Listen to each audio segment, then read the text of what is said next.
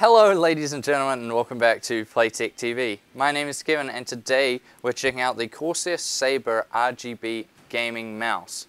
So let's dive straight in with the specs. And as you can see, there's two in front of me. And now they're exactly the same except for the sensors.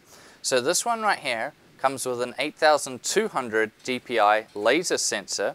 And this one right here comes with a 6400 optical sensor, the same one is found in the very popular Razer DeathAdder.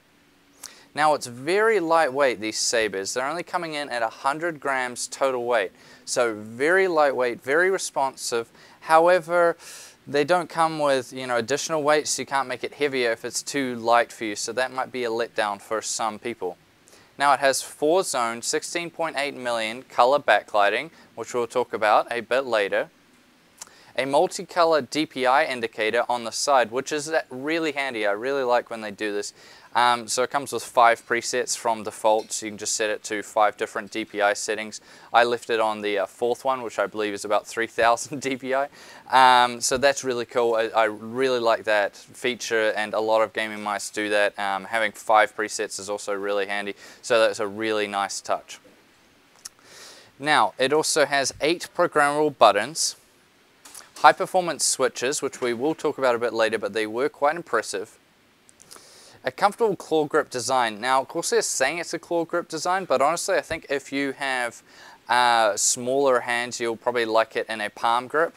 Um, it's kind of, it's a hybrid, I think, as far as it goes. You can use it with a claw grip, you, use, you can use it with a palm grip, and it's just fine. Honestly, it's not that specified. So um, a bit funny that they've said that, but uh, overall, I just think it's more of a hybrid mouse. You can get away with both grip types. It just depends more on the size of your hand.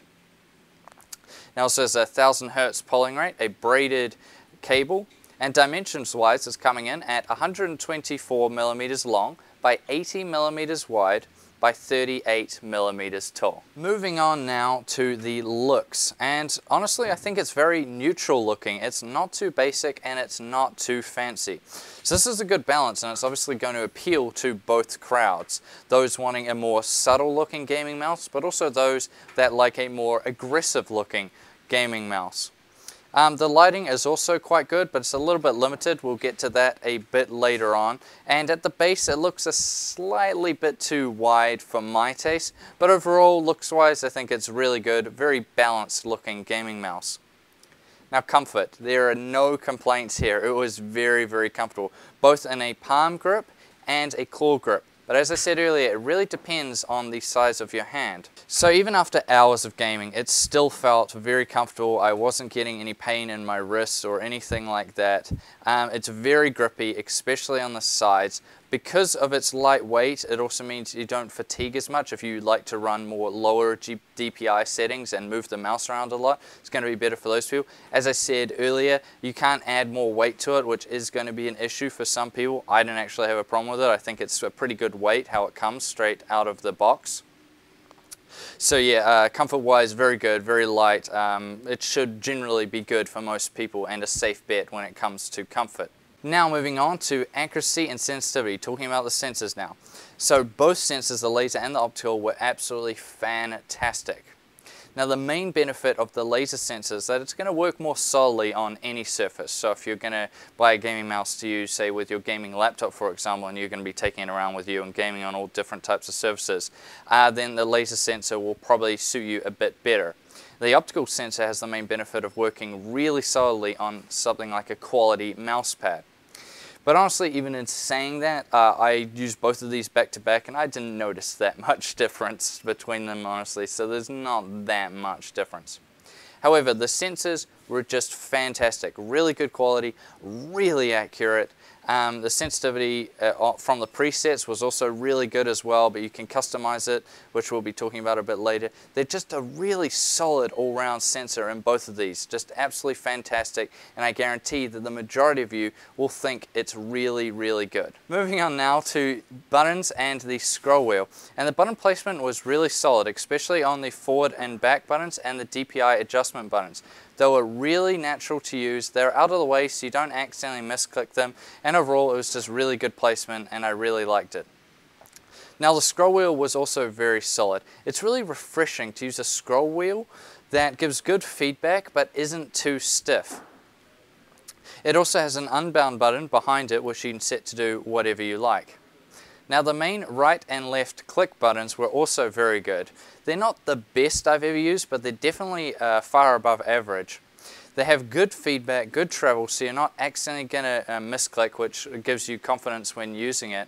And they're also decently wide, which is good for people with bigger hands like me. If I had to sum up the Corsair Sabre's RGB lighting in one word, I would say limited. The only things that light up is the Corsair logo at the back, the scroll wheel, some LEDs in the front, and the DPI indicator which you can change and set up how you want. Mixed with the complicated software it comes with, it just means the lighting isn't that good, there's not enough of it, it doesn't go very bright. So yeah, as far as lighting goes, it's pretty limited. Let's talk now about some of the additional features which come with the Corsair Sabre RGB. Starting with Corsair CUE, their software. Now, it's still the worst point of the Corsair experience. Now it does have lots of customizability, especially in setting up the button functions, the macros, and setting the different DPI settings. It's all super straightforward.